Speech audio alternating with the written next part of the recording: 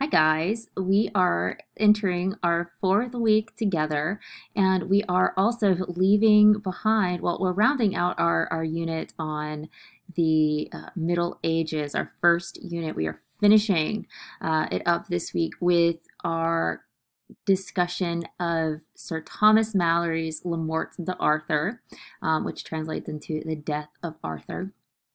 We'll talk about the historical context and the goings on in the late 15th century, including the War of the Roses and the kind of first English Civil War. Um, it wasn't qualified as the English Civil War, that's something different, but um, it is, for all intents and purposes, a civil war in England uh, between the House of York and the House of Lancaster. And the major implications that that war took. Um, the major implications of that war and, and how it affected both English society as well as Sir Thomas Malory and the writing of Le Morte d'Arthur. So that is the schedule for the week in terms of what we will discuss.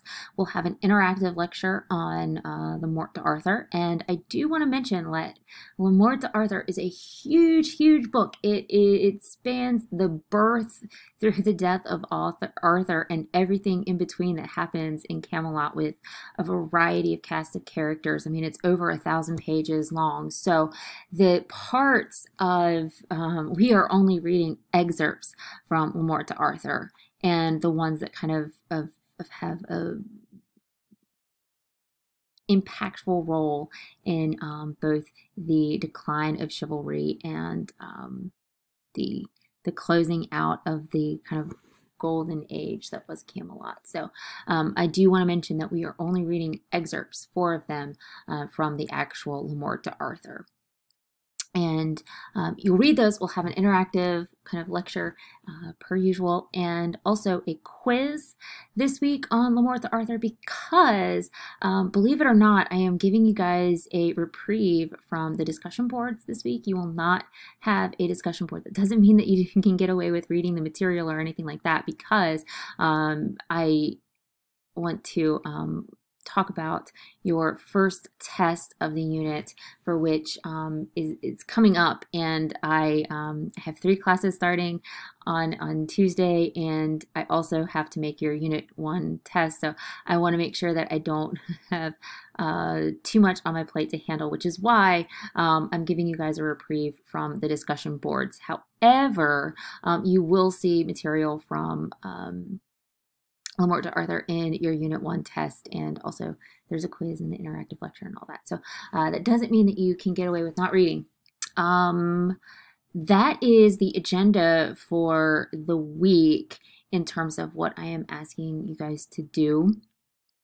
Um, we'll talk about Malory, we'll talk about Arthur, and the the decline and death of chivalry as as we know it, and why that was, and and how that impacted, like I said, the 15th century and how that um, leads way to our next unit in the, um, the 16th century and the Tudor dynasty and all that. So um, that is the agenda for the week. And also, I do want to mention that if you are scheduled to do your group presentation that too is due at the end of the week. So if you have a Unit 1 topic, um, your group presentation is due. I'm only talking to two groups, so everyone else, don't don't start to freak out. Your group presentation is is not due um, at the end of the week, and I will change the date accordingly uh, for the next um, groups. So let me know if you have any questions. I am excited to see what you guys think of Malory's depiction of Arthur and more particularly his depiction of Lancelot and Guinevere, and uh, see what you guys think of, of of it all and how we leave the Middle Ages behind. So that's it. That is the agenda for the week. Let me know if you have any questions. And also, I do want to mention really quickly, I do want to have another optional Zoom discussion. Hopefully, it'll be more interactive this week in terms of participation.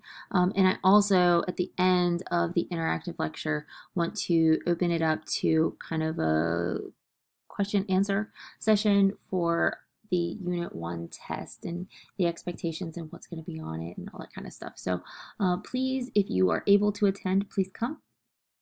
If not, I will post the recording into Canvas as per usual. So um, that's all I have for you for week four.